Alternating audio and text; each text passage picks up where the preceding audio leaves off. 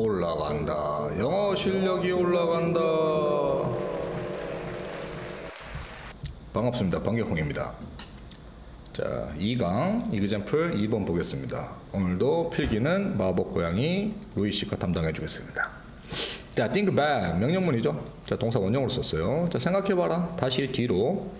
자, think back to 어디로라는 전치사예요.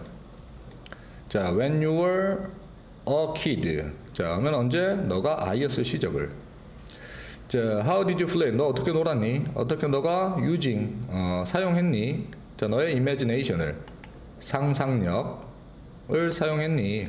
자, make you feel. make는 여기서 사역동사예요. 자, 너가 사역동사로 느끼도록 사용했니? 동사원형. 자, 그 다음 being imaginative까지 동명사가 주어져. 동명사가 주어일 때 단수 취급하니까 gives s 들어갔습니다. 자, 하면 being은 여기서 되다 뜻이요. 그럼 상상력 있게 되는 것은 준다. 우리에게. 자, 그래서 간접 목적어. 자, 뭐를 주냐면은 실제 주는 것은 the feeling을 줘요. 그래서 직접 목적어, direct object. of happiness. 어, 행복에 대한 느낌을 주게 돼.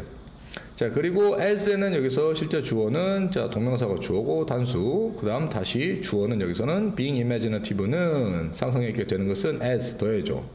자, excitement는 흥분감.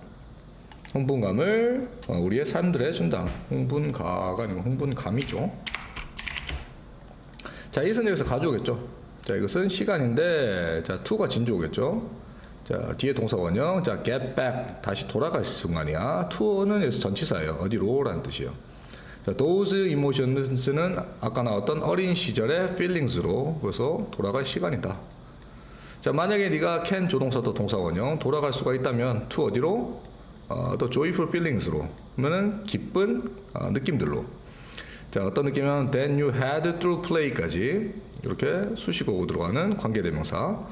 자, 너가 had 가졌던 자, through는 전치사가 여기서 뭐뭐를 통해서요. 놀이를 통해서 가졌던 어, 느낌으로 돌아갈 수 있다면 그래서 if 가정법 시제 보시면은 if절 뒤에 자, can 현재 형태 썼죠.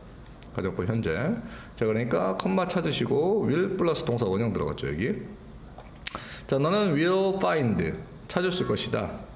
자, that 접속사고요. 너가 feel happier. 자, 더 기쁘게 느껴진다고 네 스스로에 대해서. 자, 너는 또 can 조동사 동사 원형이고요. 사용할 수가 있다. 너의 상상력을. 자, to write는 여기서 to 부정사의 부사의 목적의 용법으로 썼죠. 부사의 목적으로 쓰기 위하여 책들을. 자, 그래서 동사 원형에 자, write 1번 썼고요. 여기 or 뒤에는 또 to가 생략된 구조예요. 여기서 to 동사 원형 또 to 동사 원형의 2번입니다.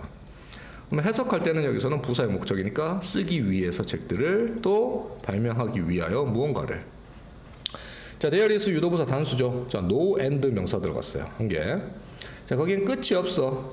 자, to는 또 어디 에라는 전치사예요. 그래서 뒤에 명사 들어가니까 how 의문사, how creative you can be 의문사 조동사죠. 자, 얼마나 창의적으로 너가 될 수 있는지에 대해서는 끝이 없어. 자, when you 언제 너가 move into 들어갈 때. 자, into 너의 imagination 상상력으로 들어갈 때. 그러니까 상상력이 그만큼 중요하다는 뜻으로 쓰고 있죠, 지금. 그래서 밑으로 조금만 더 내려가 보겠습니다. 자, 이, 자, 이시마라는 것은 여기서 뭐냐면은 좀 정리하자면은 어린 시절 창의력. 그리고 의역하면 됩니다. 어린 시절의 창의력은 또한 will 조동사 동사 원형이고 also 삽입절이에요. 자, keep 상태 동사가 중요하죠. 목적어와 목적격 보어의 관계 두 개를 비교해서 너를 focused 하는 게 아니고 되게 만들어준다의 PP로 써야 돼요. 너가 집중되어지도록 유지시켜줘. 자, on은 어디에 대해서의 about의 뜻이에요. 자, completing. completing은 완수. 자, 완수하는 거에 대해서 임무. 자, 임무인데, 자, at hand 한. 자, at hand는 손에 있는 이죠. 그러면은 손에 주어진. 그래서 의역할 때 당면한 뜻으로 쓰기도 합니다. 자, 왜냐하면 상상력이 만들어주기 때문에 자, every task 모든 임무를 더 자, interesting 요것도 지금 핑크한 느낌 낼 수가 있겠죠. 어, 상상력이 더 흥미롭게 만들어주기 때문에 긍정적인 요소를 준다. 자, 그래서 답을 보시면은 답은 어린 시절의 생활 속에서의 상상력을 발휘해라. 보시고 이렇게 어렸을 때는 우리가 이렇게 블럭을 갖고 놀면서 말이에요. 레이저로 뿅 이런 상상력을 가졌지만 나이 먹고는 절대 안 된다고 단언해 버리죠 우리. 이런 걸 없애란 말이에요.